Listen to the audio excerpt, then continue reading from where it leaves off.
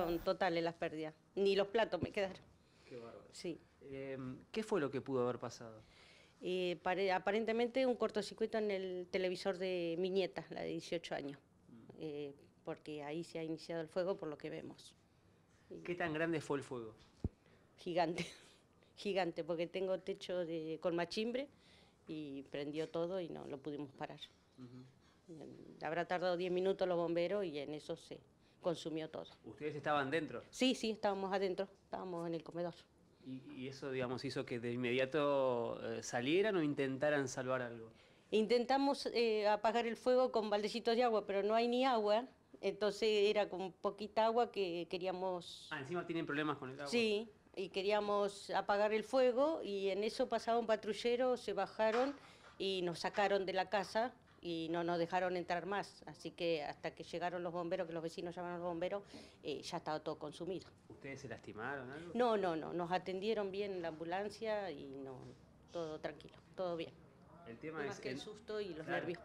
Bueno, ahora es entrar y empezar a ver por dónde empezar. La verdad que sí, la verdad que sí. 30 años de trabajo tengo acá, esperando que me den la casita y ahora tengo todo destruido. Pero bueno, hay que empezar de vuelta. Eh, las pérdidas fueron totales. Uno ve que no hay lugar que no esté tiznado, que no esté quemado. Todo, todo. Ni estoy con lo que tenía puesto ayer. Pues no, no tengo ropa y la nena tampoco. Y mi hija, la habitación le quedó nada, nada, nada.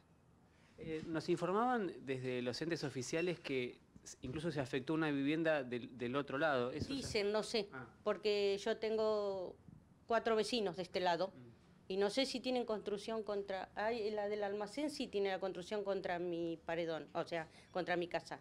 Y ella dice que sí, en el almacén sí. Las otras vecinas no, no, no sé, Claro. pero sí. Y después tengo la señora de acá al lado que fue humo nada más, pero no le afectó la casa. Está bien. Mm. Eh, bueno, probablemente se necesiten muchas manos para empezar a trabajar acá. Sí, ¿no? sí. Le agradeceré toda la ayuda que se pueda y muchas gracias. ¿Materiales y demás van a necesitar? Y sí, si hay tirante, ahora vino mi, mi yerno a ver si, si puede salvar algunas chapas y, y a ver si se puede salvar alguna chapa y si no tirante, lo que sea, lo que puedan. Alguna puerta para poder cerrar, así nos quedamos de este lado.